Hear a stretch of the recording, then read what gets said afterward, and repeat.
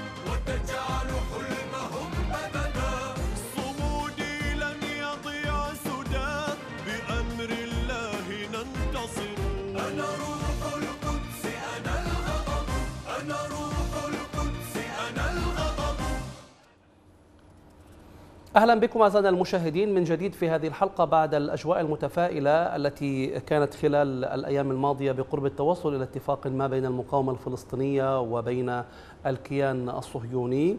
وهذه التهدئة التي كان يتم الحديث عنها برعاية مصرية أوروبية ودعم قطري وأمريكي.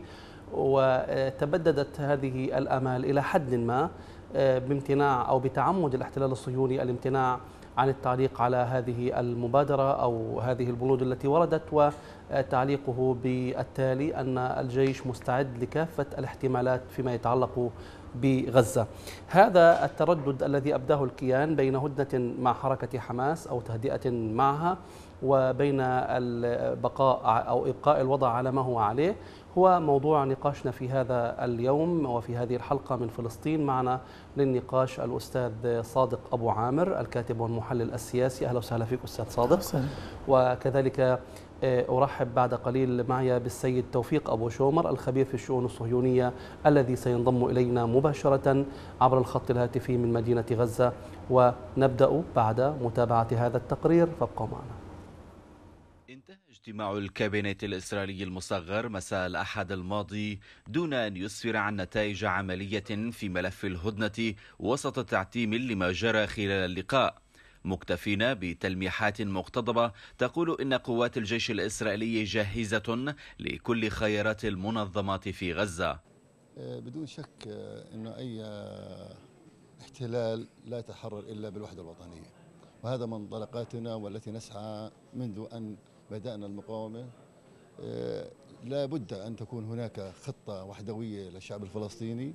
نحن كلجان المقاومة ندعم أي مسار يوحد الشعب الفلسطيني نوحد أدواتنا نوحد جهدنا. المجتمع الفلسطيني قدم وضحى. شعبنا خاض عدة معارك خاض عدة ضربات. هذه المسيرات التي يوميا تعبد بالدم. أما في قطاع غزة فقد دعت حركة حماس كافة الفصائل الفلسطينية بما فيها حركة فتح لإطلاع الجميع على آخر التطورات وما عرض عليها في مصر. والخيارات المفتوحة أمامها مؤكدة على عدم اتخاذ قرار خارج إطار الإجماع الكلي الفلسطيني. في موضوع اخواني الحصار وما يمكن أن يقابل من تهدئة إنجاز الت- التسمية إحنا عندنا الآن هدف استراتيجي وأنا أعتقد إنه الفصائل تشاركنا في ذلك إنه الحصار الذي استمر أكثر من 11 عاما على قطاع غزة يجب أن يتوقف. قد بلغ مداه وأكثر من مداه وادى الشعب الفلسطيني الذي خاض كل هذه الحروب وتحمل هذا الحصار ووقف إلى جانب المقاومة آن له أن يأخذ حقه الطبيعي في العيش وفي الحياة الكريمة مثله مثل بقية شعوب العالم. وبات من المؤكد أن أجواء الهدنة طويلة الأمد لم تتهيأ بعد برغم الجهود العربية والدولية المبذولة لأجل تحقيق ذلك. فما يتم عرضه على قيادة المقاومة في القطاع لا يرتقي حد التضحيات التي قدمها ويقدمها اللاجئون على الحدود. مرحبا بكم من جديد أعزائنا المشاهدين. اذا هكذا يبدو الوضع كما أشار التقرير فيما يتعلق بالمشهد في قطاع غزة وكما قال القيادي في حركة حماس السيد حسام بدران بأن الهدف الاستراتيجي والأكبر الآن هو كسر الحصار ورفعه عن قطاع غزة وإلى الأبد. لكن هل سيتسنى للمقاومة الفلسطينية ذلك في معادلة صعبة جدا تتمثل في عض الأصابع كما هو حاصل الآن في هذه الساعات في مدينة غزة وما تحمله الساعات القادمة من تطورات. أهلا وسهلا فيك مرة أخرى سيد صادق أبو عامر. معي في هذه الحلقة تطورات كثيرة طرأت على الملف الفلسطيني ولا سيما في قطاع غزة وهذه التطورات برسم الإجابة حتى الآن. الوفد جاء إلى غزة تشاور مع القيادات في غزة وانطلق مرة أخرى عائدا إلى مصر لعرض ما تم الاتفاق عليه أو التشاور بشأنه مع باقي الفصائل على طاولة المصرية. باعتقادك كيف يمكن تلخيص ما جرى خلال الأيام الماضية؟ يعني بداية آه، شكرا على الاستضافة. حياكم الله. آه، يعني الجهود المصرية لم تبدأ آه، أمس يعني هي جهود مستمرة يمكن هذه الجولة السابعة من جولات المصالحة ويمكن رافقها وصاحبها كتوقعات وآمال عريضة. بعضها جاء من وسائل الإعلام بعضها جاء عبر تسريبات بعضها جاء ب يعني يعني توقعات بانفراج قريبة قريب قريبة لل- للأزمة. آه، باختصار شديد هناك ورقة مصرية قدمت إلى الجانب آه، ال- الممثل للمقاومة حركة حماس. نعم. وحماس ردت وقدمت تعديلاتها على هذه الورقة وقبلها الجانب المصري وكان ينتظر رد آه، حركة فتح على هذه التعديلات. على ما يبدو حركة فتح نسفت هذه ال- الورقة. نعم. و آه، يعني يعني إلى حد ما ممكن القول أن الجانب المصري أخذ كثيرا بهذه ال- التعديلات الفتحوية. نعم. وقدمت مجددا إلى حركة حماس، حركة حماس طلبت آه، مهلة آه، وظروف آه، ملائمة لمناق- لمناقشة هذه الورقة. وكان ال- الظرف الأنسب وال- والأمثل بالنسبة لحركة حماس أن تناقشها في غزة حيث آه، يعني مركز الصراع حاليا نعم. وحيث آه، ال- الميدان الساخن. مم. خاصة نحن نتحدث أنه آه، يعني اجتماع قيادة حركة حماس المكتب السياسي في في قطاع غزة يمثل آه، إلى حد ما تخلص من أي شكل من أشكال الضغوط الممكن أن تمارس على قيادة حركة نعم. حماس وأيضا يمثل فرصة لاستشعار ال- ال- الأزمة الإنسانية التي يعني وأثناء مناقشة هذه المواضيع لابد أنه الكل يستحضر المسألة الإنسانية بشكل مباشر مع أنه هذا الأمر حاضر. حاضر ولكن آه، أن ترى ال- الأمر يعني أن تجتمع قيادة حماس في الضفة. الغربية وقطاع غزة وتضع يعني جدول الأعمال يكون على رأسه آه، رأسه موضوع غزة آه، كان هذا أمر لافت ومهم جدا ال- ال- النتائج حتى الآن لهذا الاجتماع عبر عنه قرار أو بيان المكتب السياسي لحركة حماس وكان يعني اولا حتى بالشكل كان آه، يعني آه، بيان مهم جدا. آه، اولا تحدث بتفصيل ما هو جدول أعمال المكتب السياسي وهذا غير مسبوق غير تقريبا. مسبوق نعم بالضبط. غير مسبوق. نعم. كان واضح وشفاف إلى حد كبير ما هي القضايا التي ناقشها. لم يرفع التوقعات كثيرا. بقي أبقى الباب مواربا أمام كل الاحتمالات كان وأظهر جهوزية عالية جدا لدى حركة حماس والجناح العسكري للمقاومه الفلسطينية. لمواجهة كل التحديات التي يمكن أن تفرضها قوات الاحتلال على قطاع غزة. نعم. وأيضا يعني رحب بالمبادرة المصرية وأثنى عليها ولكن دو مع تمسكه بالكامل جميل. بكل آه، الثوابت ال- ال- المحوده التي نعم. تمسك بها حركة حماس جميل. دعنا آه، نرحب بضيفنا الأستاذ توفيق أبو شومر الخبير في الشؤون الصهيونية معنا عبر الخط الهاتفي من غزة. أهلا وسهلا فيك سيد توفيق.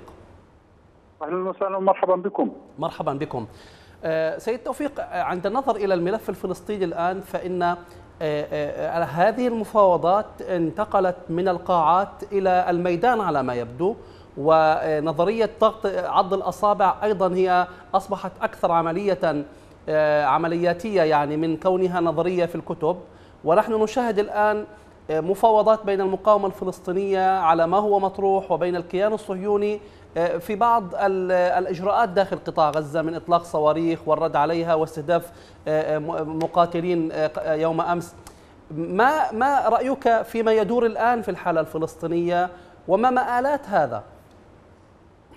يعني دائما هناك الحالة الفلسطينية لم تتغير. يعني دائما الفجوة ليست كبيرة بين الهدوء وبين الحرب.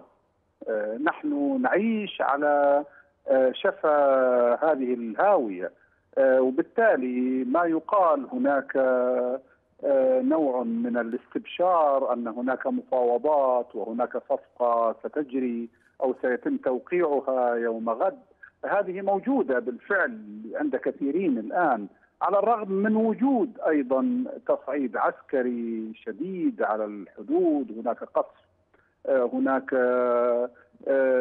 توجه اسرائيلي للانتقام هذه الليلة من سقوط آه، يعني جريحين في في سديروت آه، هذه نحن اعتدنا عليها الآن وأصبحت اللعبة تكاد تكون واضحة أن هناك رغبة لادماج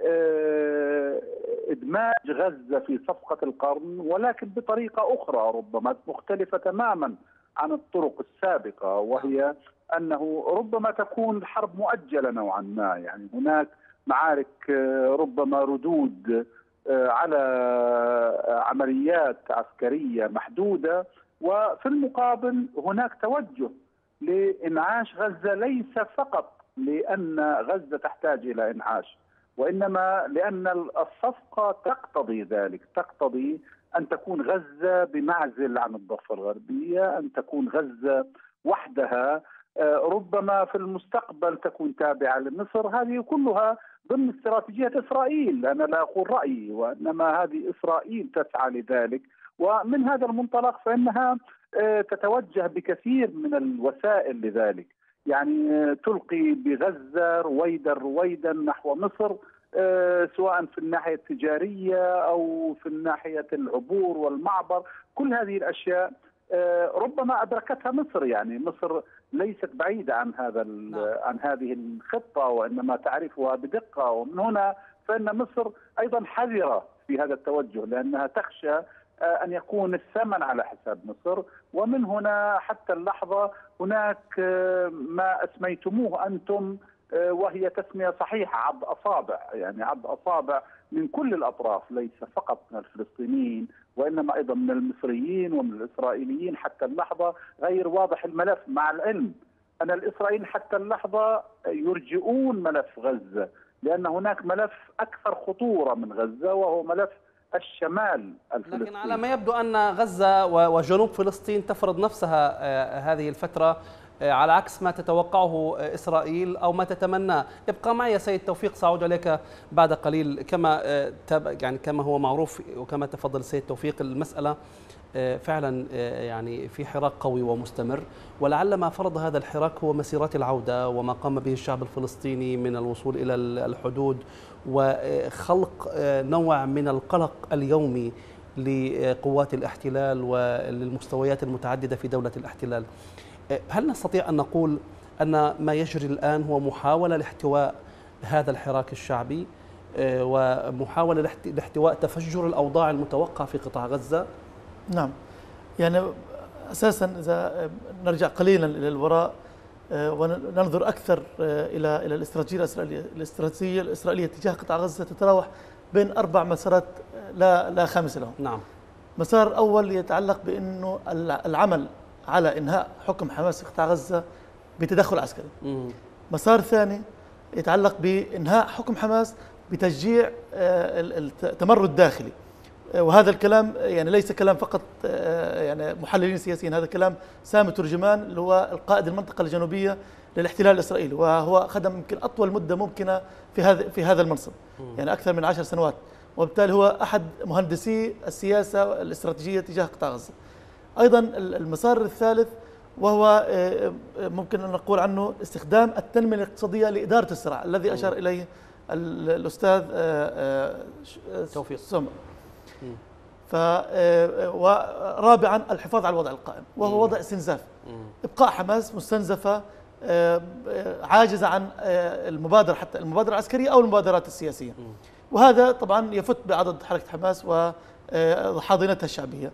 أما فيما يتعلق بإمكانية أن تتفجر الأوضاع نعم آه، حركة حماس حذرت أكثر مرة وهناك يعني يعني حماس بذلت قدمت تنازلات من أجل تجنب هذه المواجهة حفاظا على ال- الوضع الإنساني آه، ويعني الحفاظ على الوضع الإنساني يتطلب نوع من القيادة ال- الحكيمة. آه، وعدم الانجرار آه، للاستفزازات الإسرائيلية نعم. وحتى استفزازات وهذا ما. جرى في الأيام الماضية وهذا ما جرى في نعم. الأيام الماضية لذلك يعني حماس حاولت أن تقدم كل آه، التنازلات بين قوسين آه، تنازلات ضرورية نعم للجانب الفلسطيني الشريك الفلسطيني الآخر من أجل تجنب آه، انفجار الأوضاع ولكن طبعا أنت يعني تعرف والجميع يعرفون كيف تصرف السلطة بمنطق يعني تصفية الحسابات والرغبه بإنهاء فعلا حكم. هنا هنا يبدو تقاطع كبير بين بين سياسة آه، تحديدا القيادة الفلسطينية في رام الله الرئيس أبو مازن والاحتلال مع الأسف الشديد. طبعا هذا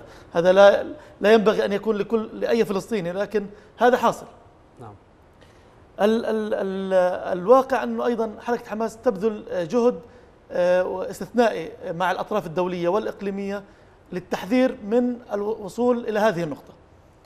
آه، وهناك يعني كما يقال في العلم الاستراتيجية انه أفضل طريقة لمواجهة الحرب هو الاستعداد لها جيدا. حماس تظهر آه، جهوزية عالية جدا، تظهر استعداد عالي جدا للحرب ليس من أجل الذهاب نحو الحرب. ولكن من أجل تفاديها. نعم ومع ذلك يعني ال- الأمور وهذه هي الصعوبة, في الموضوع يعني من أجل تفادي الحرب تبذل أقصى الجهود وحتى قواعد الاشتباك الحالية هي جزء من محاولة تفادي نعم. الوقوع في الحرب اسمح لي لأن- أنتقل لأنه لأنه بالفعل يعني لو أظهرت حماس ضعف ولو قليل ضعف في إرادتها سينقضى أو ضعف. في قدرتها على استخدام مواردها القتالية التي راكمتها على مدى 15 عاما هذا سيدفع الاحتلال ويغريه من أجل ال- ال- الانقضاض على على القطاع. لذلك هذه سياسة آه، ممكن نسميها سياسة حافه الهاويه إذا أنت سميتها سياسة آه، عض الأصابع هي سياسة حافه الهاويه نعم. ونأمل أنه طبعا آه، يعني حركة حماس أنا لا أريد أن أطيل. لا يعني لا طبعاً. لا تريد يعني ليس لديها يعني طموحات كبيرة جدا فيما يتعلق بإنهاء الحصار. لأنه هي تعرف ان هذه معركة طويلة. هذه معركة مع الاحتلال لن تنتهي بتخفيف الحصار وكذا. هي تريد أن تخفف الأزمة الإنسانية في قطاع غزة.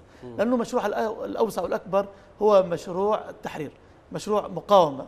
ولا تط... يعني حتى الحديث عن مطار وميناء هو مسألة ثانوية. ربما يكون هناك آه، بعض ال- بعض الناس آه، ممكن أن يكونوا آه، مؤيدين لحماس أو حتى آه، من من قطاع غزة يرغبوا بانفراجة واسعة. ولكن لن أن تق- لن تقدم. حماس لن تقدم حماس أي ثمن يعني لن تطلب شيء مقابله ثمن سياسي كبير. فقط آه، آه، تسعى إلى إنهاء الأزمة الإنسانية الحفاظ على المقاومة وعودة آه، إنهاء الانقسام عبر عودة السلطة إلى قطاع غزة. دعنا نتوقف عند موضوع إنهاء الانقسام. سيد توفيق أبو شومر هناك يعني مثل معروف كل الطرق تؤدي إلى روما ولكن روما الخاصة بنا قريبة جدا وهناك طريق قصير جدا يمكن الوصول إليه آه، من خلاله إلى تحقيق أهدافنا وهو الوحدة الوطنية أو المصالحة الوطنية المتمثلة بالتئام آه، آه، الأطراف وإنهاء الانقسام ويعني والذي تعرفه. وهذه الطريق القصيرة يبدو أنها آه، أصبحت مغلقة للأسف الشديد. الذين ذهبوا إلى مصر عدة مرات دخلوا من قاعة المصالحة ولكن دخلوا الآن في قاعات جانبية تتمثل في مفاوضات من خلال وسيط وجهد جهد أممي ودولي من أجل إنهاء معاناة غزة. أليس حريا بنا أن نأخذ هذا الطريق؟ نبدأ بالسير في هذا الطريق أو نختصر كل هذه المسافات علينا والتي فيها مخاطرات كبيرة على حركة حماس التي يحاول الاحتلال تدجينها الآن في هذه المرحلة من خلال الضغط على مليوني إنسان في غزة. هو هذا هذه أبجدية. يعني من لا يقتنع بأن الفلسطينيين الموحدين هم القادرون على فرض إرادتهم. هذه أبجدية فلسطينية هذه آه، منذ بداية منظمة التحرير وهذا هو شعارها. الوطن للجميع. هذا الوطن وليس لحزب واحد أو لتيار واحد. للأسف الشديد نحن الآن سبب هذا الانقسام الانقسام يعود إلى أننا أر- ارتهنا لمشيئات أخرى آه، هذه المشيئات الأخرى التي تعددت في ساحتنا وجعل وجعلتنا لا ننقسم انقسام العالم والعالم كله منقسم. هناك أحزاب متصارعة وهذا الصراع كله يصب في مصلحة الوطن إلا الفلسطينيين الذين كانوا يتغنون بوحدتهم طوال قرون وكانوا يراهنون على هذه الوحدة وكانوا يشاركون حتى في الإصلاح بين الدول الكبرى.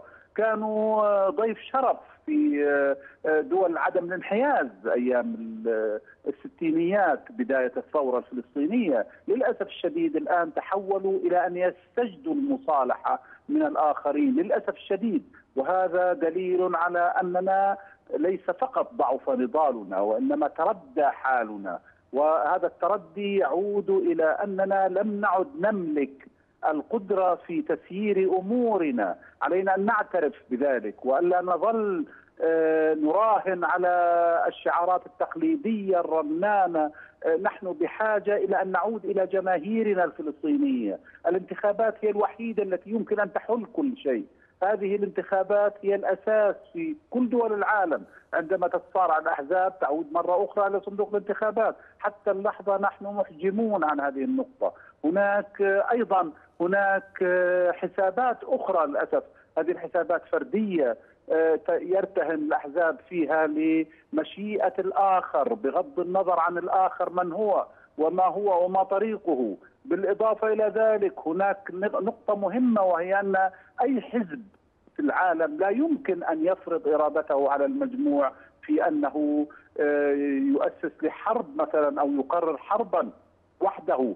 هذه مأساة كبرى تحت كل الظروف. يجب أن نعود إلى طبيعتنا الفلسطينية إلى جوهر نضالنا الفلسطيني. جوهر نضال جوهر النضال الفلسطيني كان شريفا طوال طوال التاريخ لدرجة أن الكثيرين كانوا ينضموا إلينا في قواعدنا. لا زلت أذكر السبعينيات الستينات أنه كانت يعني هذه ميزة عندما يأتي الأجنبي ليتدرب في القواعد العسكرية الفلسطينية عندما كان النضال مقدسا. هذا التاريخ يجب أن نستعيده ويجب أن نعلمه لأطفالنا. الآن نسي الأطفال بحكم هذا الصراع الطويل الذي يقدر نعم. ليس ب 11 سنة وإنما بأكثر. هذا الصراع الطويل أسس جيلا حتى اللحظة. هذا الجيل غريب عن تراثه وأنا أخشى حتى لا يجب أن نبالغ نحن في قوتنا العسكرية وفي تصريحاتنا علينا أن نبذل جهدا أكبر في اتجاه تثقيف الجيل وإعادة هذا الجيل إلى ال- إلى النضال الفلسطيني وكيف يمكن أن نؤسس بمناهج تربوية محكمة كيف أن آه، نقوم برفع مستوى معيشة أهلنا وأن آه، أيضا نخضع للمشيئة الشعبية. المشيئة الشعبية الآن تقول نحن لا نريد حربا وهذا بصوت عال الكل يقوله. بلا شك لا نريد حربا جديدة نحن نريد حياة تمكننا من أن نحصل على حقوقنا بواسطة الوحدة الفلسطينية أولا ثم بالانطلاق ثانيا. أرجو أن تبقى معي أستاذ توفيق. سيد صادق يعني المسألة صعبة جدا في الحقيقة وتزداد صعوبتها من خلال وجود فجوات كبيرة. يعني حتى يعني الفجوة بين حركتي فتح وحماس كبيرة جدا كما تفضلت في البداية. المقترح الذي وافقت عليه حماس اكتشفت فيم- فيما بعد أن تعديلات حركة فتح عليه كبيرة جدا واللقاء بينهما أصبح صعبا. في نفس الوقت الاحتلال ليس مستعجلا كما فهمت منك ومن ضيف الكريم على حل هذه الأزمات ويقول لك إنه من ضمن أسباب تراجعه وعدم استعجاله إنه يريد السلطة الفلسطينية في في في في غزة ككيان شرعي وإلى آخره. فالمسألة قد تحتاج إلى وقت أطول على عكس المتوقع الآن من نتائج سريعة يتمناها الشعب الفلسطيني. في ضوء كل هذا كيف يمكن إدا- إدارة هذا الملف أو إدارة هذا الصراع أو الاستفادة من ال- ال- ال- التوجه الشعبي لكسر الحصار؟ نعم. أنا أولا يعني أثني على ما قاله الأستاذ توفيق. يعني مهم جدا ال- ال- التركيز على ال- البيت الداخلي على بناء الذات. نعم. آه، تطوير القدرة الفلسطينية. هناك آه، يعني جزء من مشاكلنا الآن التي نعانيها حاليا كفلسطينيين تتعلق بانخفاض القدرة الفلسطينية مقارنة في معادلة الصراع مقارنة مع الاحتلال مم. الاحتلال يراكم قوة ويراكم قدرة وحقائق ووقائع على الأرض في حين ال- الفلسطيني ينسحب آه، من من الجغرافيا والديموغرافيا وحتى ال- القوة التي راكمناها هي قوة عسكرية يعني تواجه. لا يعني لا لا تستطيع هي قوة دفاعية أكثر منها. قدرتها على الفرد هي قوة رفض قوة دفاع نعم. قوة آه، آه، حماية نسبيا طبعا إحنا لا نتحدث ولا يعني أنا يعني مع قول الأستاذ أنه لا يجب أن نبالغ بأي شكل من الأشكال الفلسطيني تحت الاحتلال ومع ذلك ومع ذلك لدينا قدرات متعددة لدينا مؤسسات كثيرة ولكن ال- ال- التحدي الرئيسي يكمن كيف نستطيع أن نوحد هذه الجهود؟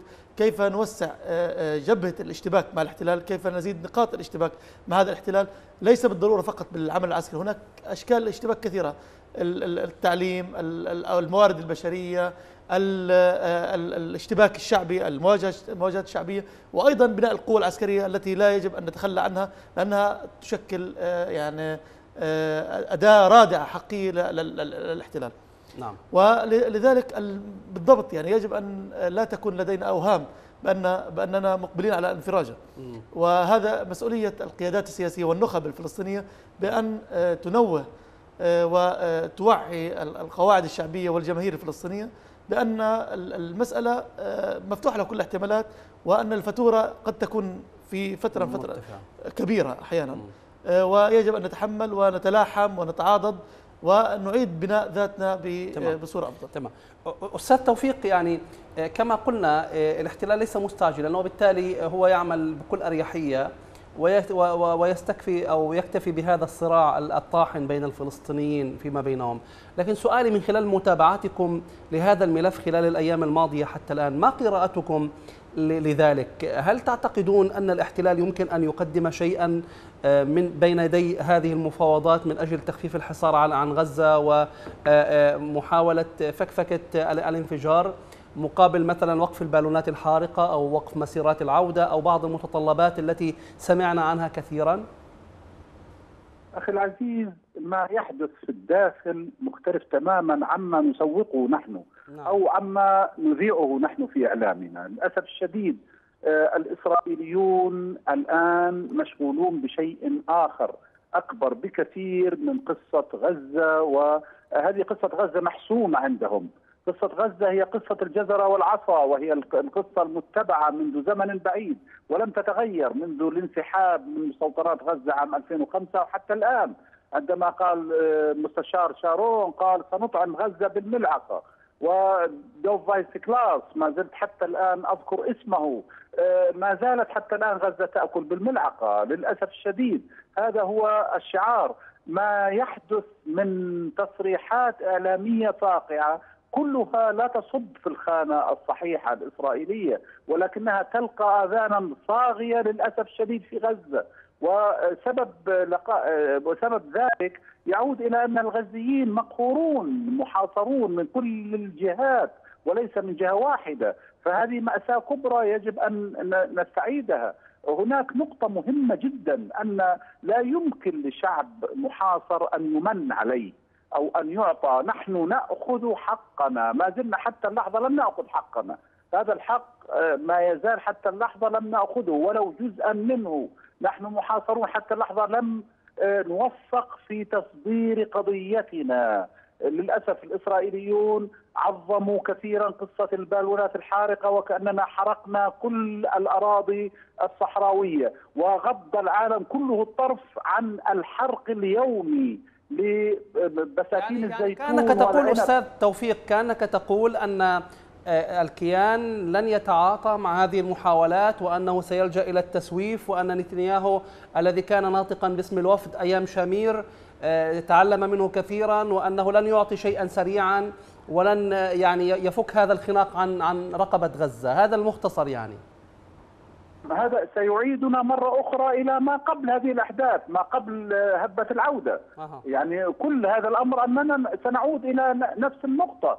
لأن آه، ما يحدث الآن هو فقط بالونات آه، فاقعة. ما يريده نتنياهو بالضبط هو صفقة تبادل أسرى من وراء كل هذه الأشياء. ويوم غد سوف يوحي بأن هناك مسارا ربما يسير في هذا الاتجاه. وإذا حدث ذلك أنا في اعتقادي أن هناك انفراج بالقياس إلى الماضي وليس انفراجة كما نريدها نحن، انفراجة كما يريدونها. في أنهم يعيدون مرة أخرى تصدير البضائع الفاسدة لنا عبر معبر آه، كرم أبو سالم ويسمحون لنا بالخروج والعودة وسيمددون مساحة البحر من ستة إلى تسعة طبعا ولا أحد يعرف في غزة آه، المساحة ليس معنا أجهزة قياس حتى نعرف. الإسرائيليون يتحكمون في كل شيء نعم. في الهواء حتى في الهواء الداخل هناك. يعني هذه كلها ضمن استراتيجيات الخداع الإسرائيلي المتعمد. في أنهم يظلون آه، عندهم نقطة مهمة وسوف تظل مهمة أن هناك كيانا إرهابيا على حدودهم الجنوبية. هؤلاء لهم صواريخ هذه الصواريخ تطال المدن الإسرائيلية هذا كيان إرهابي على الرغم. لاحظ أننا ما زلنا حتى لحظة لم نتغنى بأننا محتلون، نحن ما زلنا محتلين حتى منذ عام 2005 بالانسحاب، محتلين بحريا وجويا وفي كل المجالات ومحاصرون حتى في غذائنا، حتى اللحظة لم نفلح نحن في تصدير هذه القصة، حتى الع- الع- العالم الآن أيقن بأننا عندنا دبابات لأن نحن ألبسنا آه، بعض السيارات دبابات وكذا. فاعتقد العالم أننا بالفعل نملك سلاحا فتاكا رهيبا يمكنه أن آه، يقسم إسرائيل نصفين. ومن حقنا نحن أن نملك الأسلحة ولكن ليس من آه، من الواجب التضخيم في هذا المجال. علينا أن نستعيد نحن حتى اللحظة محتلون. نعم. نحن محتلون. ويجب أن نراهن على هذه النقطة ونبرز قضايانا المجتمعية كما نبرز أسلحتنا. يعني حتى اللحظة نحن آه، عاجزون نحن ال- الشهيد يقع ثم يتحول إلى رقم بعد فترة من الفترات. نعم،. بينما هم القتيل عندهم آه، ينزعون لباسه العسكري القاتل ويلبسونه لباسا مدنيا. نحن بالعكس نفعل. نحن آه، نخلع عنه لباسه المدني و الذي لا يجد آه، نعم. يعني إذا هناك مشكلة في. الخطاب بلا شك أستاذ توفيق أبو شومر مشكلة في الخطاب الخبير في الشؤون الصهيونية كنت معنا عبر الخط الهاتفي من غزة حفظها الله وحفظ أهلها مشكلة في الخطاب هذه مشكلة أخرى أيضا آه، كبيرة في الخطاب ال- الإعلامي والسياسي أستاذ توفيق يعني آه، لعلنا نحاول الوصول إلى من خلال هذه الحلقة إلى فهم ما يدور من خلال السؤال عن طبيعة هذه المفاوضات هي للأسف الشديد تنحصر في كونها آه، مفاوضات من أجل تحسين الوضع المعيشي. يعني نحن أيضا في مربع خطير سواء حركة حماس أو فصائل المقاومة الفلسطينية حتى لو اجتمعت مع حركة حماس ما يدور هو تخفيف حصار، كسر حصار، تحسين أوضاع. طيب المقاومة أين ذهبت؟ هناك هدف استراتيجي هو إبقاء القضية حية وكل ما تعرفه من خلال آه، فعل مقاوم سلمي غير سلمي آه، بالتحضير بالتجهيز إلى آخره يعني. يعني لا شك إنه هذا مسار خطر. مم. نحن يعني كناس نعمل في في ال- في الحقل السياسي الفلسطيني ندرك أن ال- العدو وحلفائه وامتداداته صممت مسارات إجبارية للفلسطينيين آه، جعلتهم يدخلوا إلى إلى آه، يعني حقل الالغام فعلى سبيل المثال يعني حركة حماس الآن مخيرة ما بين حل آه، إنساني آه، يكون آه، يعني يدخلها إلى إلى إلى يعني تقريبا يضع يضعها في حالة فصل تام مع الواقع في الضفة الغربية أو آه، رفض هذا الحل الإنساني وبالتالي يعني يضعها في مواجهة الجمهور لأنه الجمهور أيضا في ال 2 مليون فلسطيني في قطاع غزة نعم. آه، لديهم احتياجاتهم المعيشية. طبعا. ويعني ال- الكل يدرك الكل يعتقد أن حركة حماس هي التي تمسك بزمام الأمور. علما أن حركة حماس قدمت آه، يعني في اتفاق الأخير في القاهرة. بأكتوبر 2017 آه، كانت واضحه جدا أن ال- الحكومة عليها أن تمارس مهامها حكومة الوحدة الوطنية أو حكومة الوفاق الوطني برئاسة رامي حمد الله يجب أن تمارس مهامها في قطاع غزة ولكن تلكأت وتقاعست آه، بذرائع مختلفة. وهذا هذا يعني الأمانة شيء يعني يسبب إرباك للسياسة الفلسطينية، ليس فقط للقائمين على قطاع غزة، أيضا لكل النخب والفصائل الفلسطينية، وإن كان تحرص آه، يعني قيادة المقاومة الممثلة بحركة حماس على أن تتحرك جماعيا، يعني أن لا تنفرد ابدا لأنه تدرك أن هذا خطأ آه، فتح سابقا. نعم. حتى أن ليس فقط خطأ آه، انها خ- تركت الفصائل وذهبت منفردة، أيضا جزء من حركة فتح هو التي الذي استفرد واختطف قرار فتح وذهب بعيدا في التفاوض. ثم الآن نرى كيف النتائج. بعد 20 عام أو أكثر من عقدين من الزمان آه، في عملية التسوية. نحن آه، لم نأخذ شيء، تحولنا إلى كيان وظيفي أمني في خدمة آه، الاحتلال. وارتبطت آه، يعني قطاعاتنا الاقتصادية وتم تفكيك حتى كل بنانا ال- ال- الإنتاجية التي كانت ما قبل أوسلو كانت يعني تشكل آه، نوع من من ال- الحصانة أمام أي أي محاولات إسرائيلية للاخضاع الآن الآن في هناك يعني حتى نكون صريحين مع أنفسنا هناك حالة تراجع فلسطيني نعم. آه، في كثير من من النقاط. هذا ليست دعوة لأن نكون يائسين أو محبطين. هي هي مكاشفة تهدف إلى استعادة ال ال ال استعادة زمام الأمور واعاده لملمة آه، آه، ما لدى الفلسطينيين ولدى الفلسطينيين كثيرين نعم. الكثير في الداخل والخارج في الضفة وقطاع غزة لدينا أوراق قوة ولكن نحتاج إلى قيادة موحدة نحتاج إلى استراتيجية ونحتاج إلى أن نحشد الجمهور خلف هذه في الاستراتيجية ضوء غياب آه، هذه آه، القيادة الموحدة والمصالحة الفلسطينية والوحدة الفلسطينية. كيف يمكن أن نحافظ على آه، آه، هذا الموروث على مقاومتنا على صمودنا؟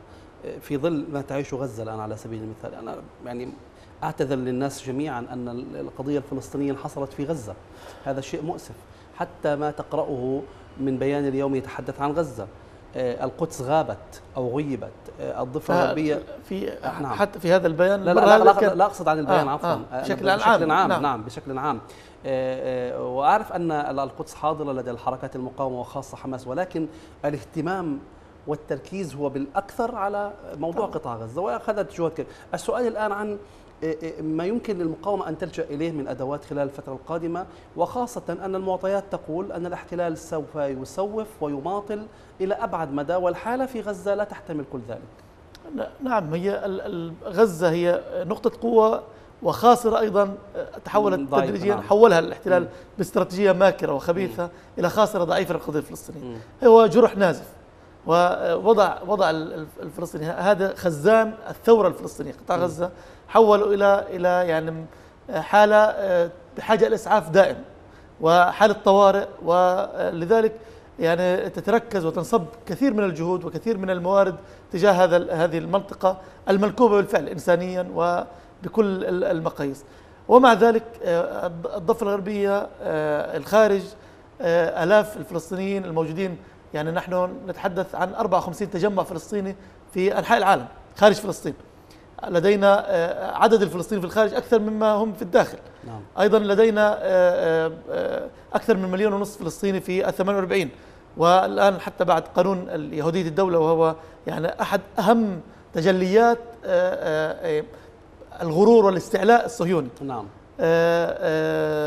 ال- الآن هناك فرصة لتفعيل حالة نضال مدني سلمي يتناسب مع آه، الوضع ال- ال- الخاص ب- بإخواننا وأهلنا في ال 48 حتى مع آه، آه، شركائنا اللي هم آه، الطائفة الدرزية التي هي تعتبر أكثر المتضررين بلا شك. آه، من هذا من هذا القانون لأنه 70 سنة وهم يخدموا آه، كما وصف آه، أحد قادتهم آه، أننا ت- كنا عشيقة نعم. ولم نكن شركاء. أصبحوا أصبحوا عشيقة في السبعين لا لزوم لهم يعني. نعم.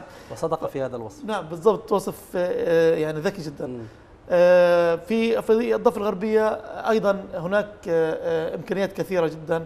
يعني نحن لاحظنا فترة من الفترات آه، عندما آه، يعني كان يخفت ال- ال- ال- الميدان في غزة تنتفض الضفة. نعم. هناك نوع من من التعاقب. نعم. يعني التعاقب والتتابع كيف ممكن نقول سبق تتابع؟ يعني آه، منطقة تهدأ منطقة أخرى تشتعل. نعم. وهذا يعني ربما ليس بتخطيط ولا ولكن لأن هذه تعبير حقيقي وصادق عن إرادة الشعب الفلسطيني. إرادة الشعب الفلسطيني إرادة لابد أن تنتصر. هذه إرادة أولا إلى هي بجانبها الحق وأيضا آه، آه، يعني دائما الشعب الفلسطيني ولاد بالقيادات وهذه القيادات ستوجد وهذا وهذا الأساليب لا ينتهي. نعم. لمواجهة هذا الاحتلال. الغاشم. وبطبيعة الحال الصراع لا ينتهي إلا بانتهاء الاحتلال. شكرا لك أستاذ آه، آه، صادق أبو عامر الكاتب والمحلل السياسي. كنت معنا في هذه الحلقة. كما أشكر ضيفي مرة أخرى الأستاذ توفيق أبو شومر الخبير في الشؤون الصهيونية. ألتقيكم بعد فاصل قصير وفقرة أخرى فابقوا معنا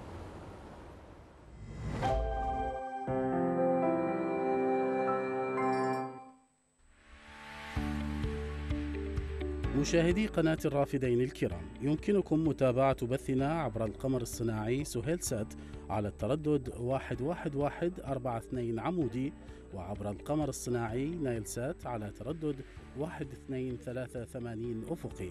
ولمزيد من المعلومات يرجى التواصل مع موقع القناة الإلكتروني عبر الإنترنت.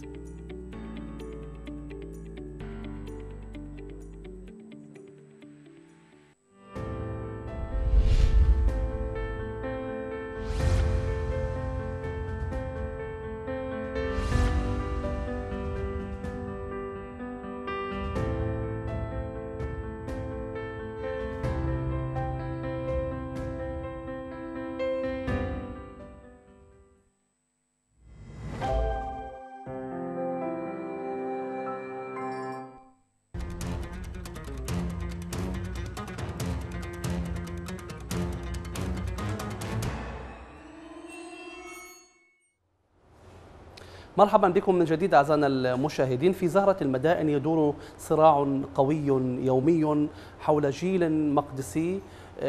يحاول الاحتلال أن يشده إلى عالم الجريمة والمخدرات والضياع بينما يحاول المقدسيون في مختلف مناحي الحياة أن يأخذوا بيد هذا الجيل إلى آه، الإبداع والإنجاز والصحة والتعليم وكل هذه الأبعاد الجميلة في حياة آه، الشباب في كل العالم.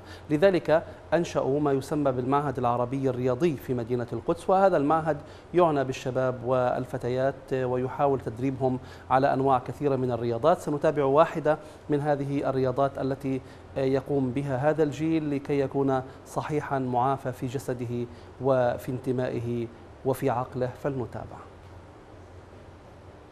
تأسس المعهد العربي الرياضي في العام 1987 عندنا ثلاث أنشطة آه، رئيسية اللي هي اللياقة البدنية بناء الأجسام وفنون الدفاع عن النفس. فنون الدفاع عن النفس عندنا كاراتيه تايكوندو ملاكمة. حسب برنامج معين في عندنا بكون حصص تايكوندو ملاكمة كاراتيه أو لياقة بدنية. طبعا آه، نصيب الأسد بصراحة بروح للحصص ال- ال- التايكوندو. آه، عندنا حوالي 10 مجموعات بأيام وساعات مختلفة. آه، طبعا أحيانا كثيرة بكون قبل معسكر تدريبي أو بطولة خارجية بصير عندنا كنا تدريب يومي استعداد لهي المشاركة. قبل ثلاث أربع أشهر من أي بطولة بصير تدريب معدل ثلاث ساعات مرتين في اليوم للاعبين المنتخب.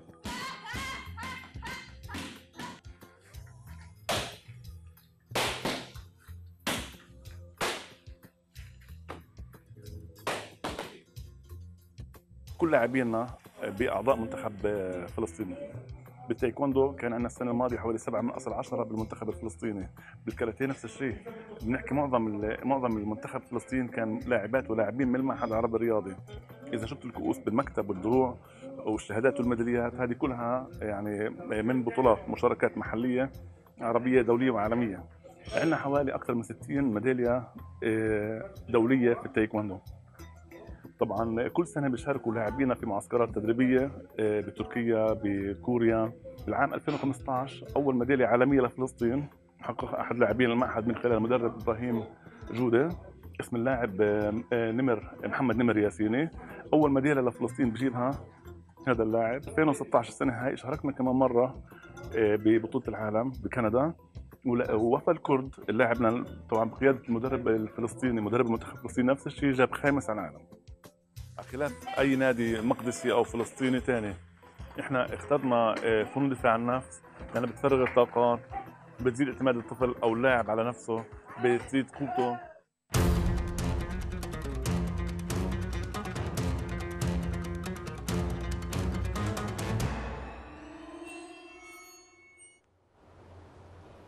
أهلا بكم من جديد. مدينة بيسان موطن التاريخ والجمال. الأرض المحتلة لن تص- تصبح بشعة بفعل بشاعة الاحتلال ولن تصبح أو لن يصبح هذا الوطن قبيحا لأن وجه الاحتلال قبيح. سيبقى الجمال الفلسطيني تاريخا وحضارة وعطاء إلى الأبد بإذن الله تعالى طالما أن هذه الأرض المباركة مذكورة في سورة الإسراء. فلنتابع هذه المدينة.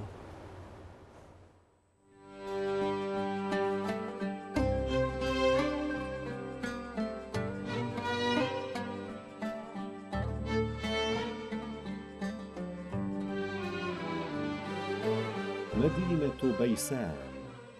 نشأت فوق قواعد الحافة الغربية للغور وتعد حلقة توصل بين وادي الأردن وسهل مرج بن عامر. للمدينة أهمية تجارية وعسكرية وزراعية لوجودها في غور خصيب. كما كانت تعتبر محطة تتجمع فيها القوافل التي تسير بين الشام ومصر ومعبرا للغزوات الحربية بينهما. يرجع شأن بيسان إلى أكثر من ستة آلاف سنة قبل الميلاد وحملت في العهود الكنعانية اسم بيت شان وقد يعني هذا الاسم بيت الإله شان أو بيت السكون. في العهد الروماني كانت زعيمة للمدن العشر ديكابوليس وأصبحت مركزا تجاريا هاما للقوافل المتجهة نحو الأردن. في أواخر عام ثلاثة عشر للهجرة حاصر المدينة عمرو بن العاص وشرحبيل بن حسنة وفتحاها صلحا ولها شهرة خاصة في تاريخ المسلمين لوجود قبر الصحابي الجليل أبي عبيدة بن الجراح. تحدث عنها الإدريسي بقوله: أما بيسان فمدينة صغيرة جدا بها نخل كثير، وبنيت فيها السافان التي تعمل منه الحصر السافانية، ولا يوجد نباته إلا بها، وليس في سائر الشام شيء منه. تطورت بيسان في الربع الأول من القرن العشرين بعد مد خط سكة الحديد حيفا درعا الذي يمر من شمال المدينة حيث زاد النمو السكاني مع نمو العمران. حظيت باهتمام المسؤولين الأتراك الذين نظموا سوق المدينة ومبانيها. احتلها الإنجليز بعد الحرب العالمية الأولى وتم اختيارها مركزا إداريا لقضاء بيسان. ضمت المدينة قبل النكبة مدرستين للبنين والبنات توافد إليهما الطلبة من القرى المجاورة.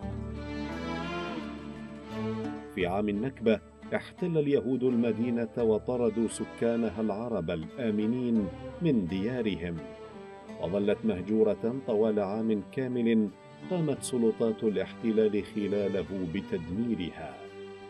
ثم أعادت بناء المدينة بعد أن غيرت معالمها الأثرية والتاريخية ووطنت مئات العائلات اليهودية فيها. تشتهر مدينة بيسان بزراعة الحبوب والحمضيات والموز. وتنتشر فيها مواقع أثرية عدة أهمها تل الجسر وخان الأحمر وتل المصطبة وتل الحصن وهو موقع بيسان القديمة ومن بيسان خرج المحدث الحسن محمد البيساني.